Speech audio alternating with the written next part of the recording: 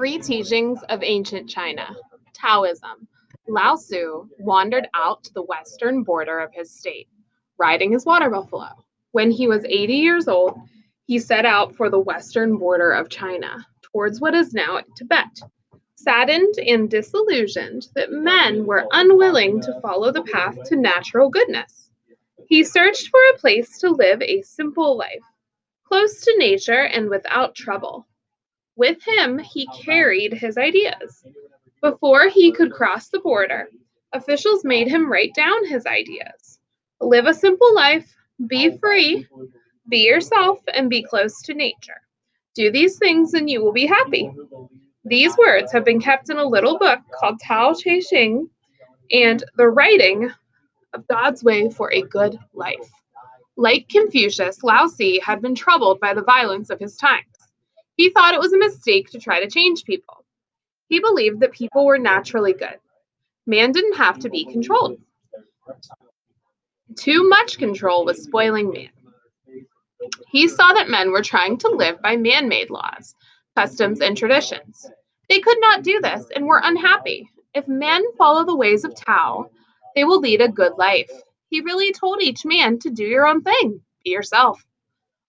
Lao Tzu wanted people to be close to nature. He wanted to get away from the rules made by government and society. To him, the government was selfish and power hungry.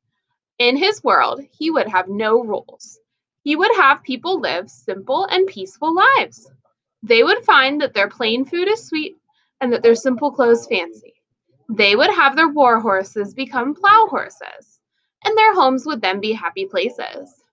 Tao, also written as Dao, means the way to happiness. Taoism is not a religion, it's a philosophy, a way of looking at life and a way of thinking about things. Taoists believe that if you look at life and think of things the right way, you'll be much happier. Taoism, which emerged about the same time as Confucianism, tended to appeal to the underprivileged. Taoists believe it's very important to understand the way things are. This does not mean that there are not things we want to change about ourselves, but it's important to recognize and trust our own inner nature and discover who we are. In the story of the ugly duckling, when does the duckling stop feeling ugly? When he discovers he's a swan.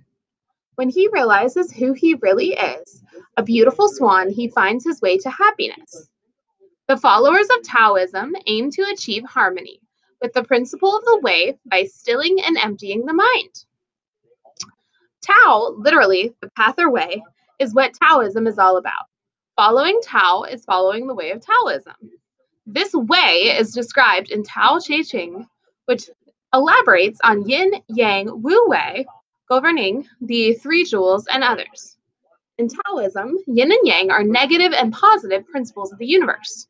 One can't exist without the other, and they often represent opposites in relations to each other. As you have more and more yang, eventually yin will appear and replace this increase.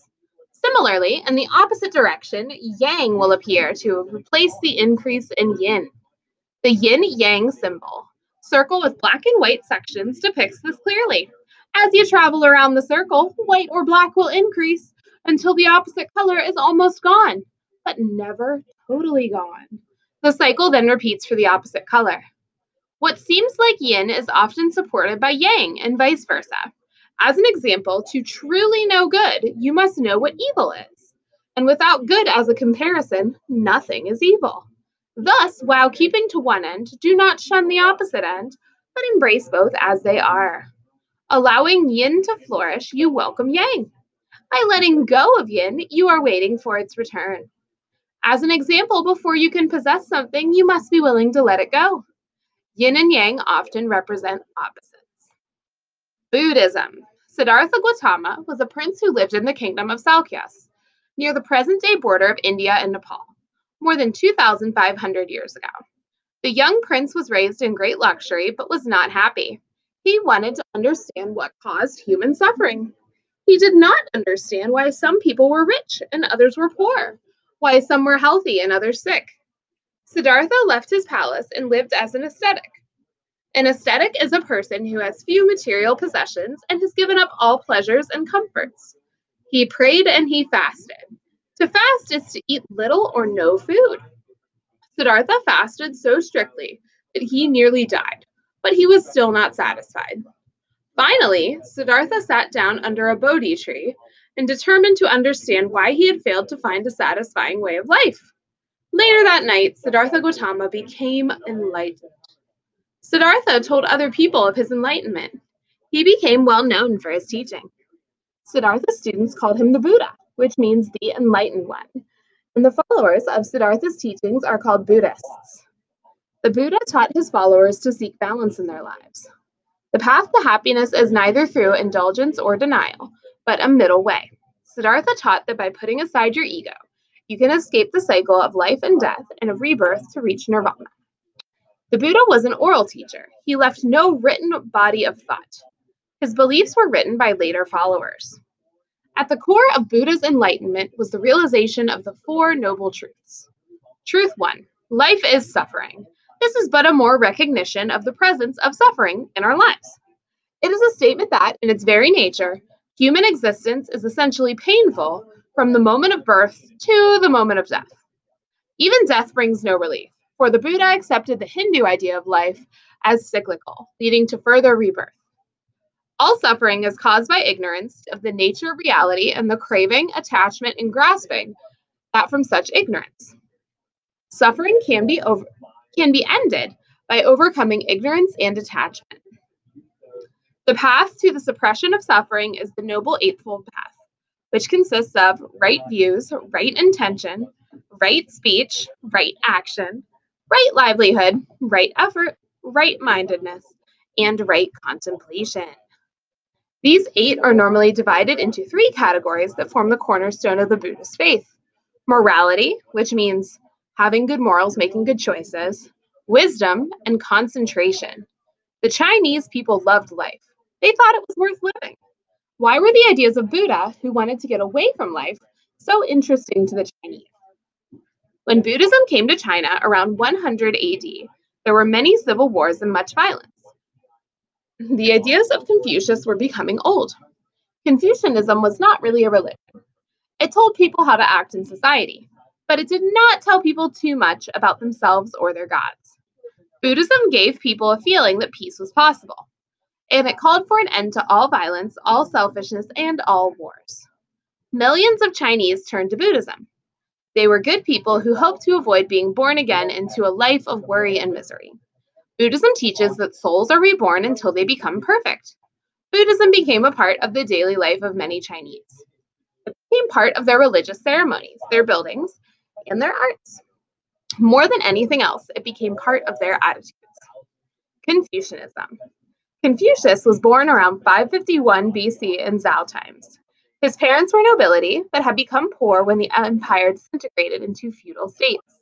When he was around 15, he became quite interested in learning.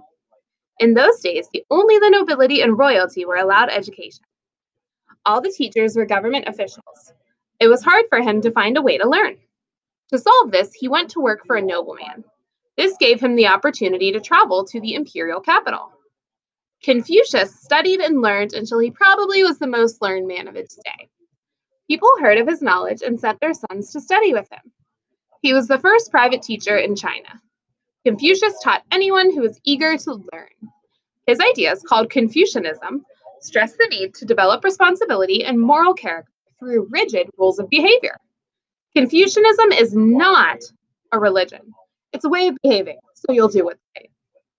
Confucianism in Tang times was a social code of behavior, a very set and rigid code of behavior that honored ancestors and ancient rituals. Everything had to be done in a certain manner. One of his rules, for example, was that the gentlemen could display their skill as archers on three hunts a year in the spring, autumn, and winter. Today we celebrate, or the Chinese celebrate, Confucius's birthday, Teacher Day, in honor of their teacher, the ancient Confucius. I'm going to continue this recording in a second one. There's not much left, though, okay?